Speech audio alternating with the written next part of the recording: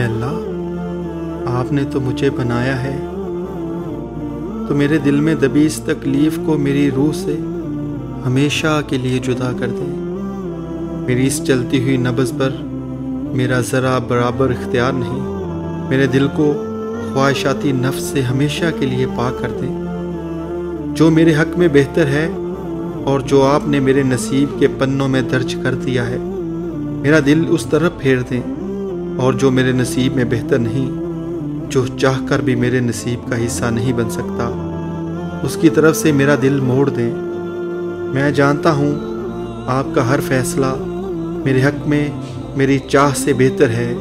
मैं जानता हूँ कभी कभी मैं जानते हुए भी आपके फैसलों से इनकारी हो बैठता हूँ। मैं जानता हूँ, जो मुझे आपने दिया है, उसी में मेरी बेहतरी है। अपने नफ्स के हाथों में ये जानते हुए भी अक्सर आपसे शिकवा कर बैठता हूँ। मुझे कुछ ऐसा बना दें कि मैं आपको पसंद आ जाऊँ। मुझे कुछ ऐसा बना दें कि बस आपको पाने के बाद सब कुछ मुकम्मल लगे। मेरा दिल सुकून से भर जाए और मेरे दिल में सुकून का एक ऐसा समंदर उतार दें कि माजी की तलखियों पर अब सब्र आ जाए।